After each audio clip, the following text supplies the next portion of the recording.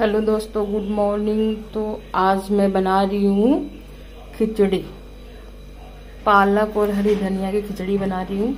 और मैं कैसे कैसे बनाऊँ, वो लोग आप पूरा देखना। और आपको पता है, मैं इस समय डाइट कर रही हूँ। तो ये देखिए, मैंने खिचड़ी बनाने के लिए क्या क्या लिया। ये तो लिया मैंने कच्चा टमाटर। कच्चे टमाटर की चटनी बहुत अच्छी लगती है, बहुत ज़्यादा। तो हल्का से इसको मैं भूनूँगी और इधर ले लिया मैंने धनिया। और हरी मिर्च ले लिया।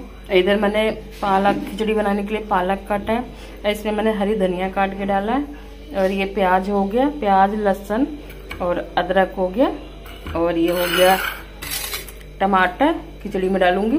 ये लाल मसूर की दाल। लाल मसूर की दाल बहुत अच्छी लगती है। अगर लाल मसूर की दाल की खिचड़ी बनाओगे तो उसमें थोड़ी सी हींग, जीरा और लाल वाला जो पाउडर मिर्च आता है, उसका तड़का लगाओ। बहुत स्वाद बनता है।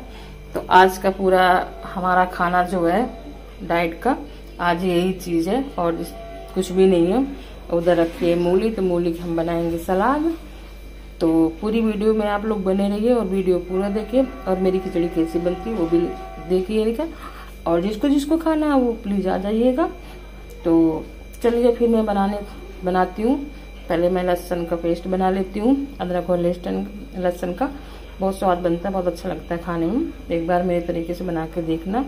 अच्छा ना लगे तो मत बनाना। और अच्छा लगे तो हफ़्ते में एक बार बना लेना।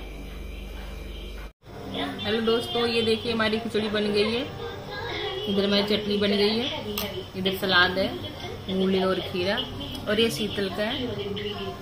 खिचड़ी बहुत अच्छी बनी है, बहुत बहुत ज़्यादा अच्छी बनी है खिचड़ी हमारी। चटनी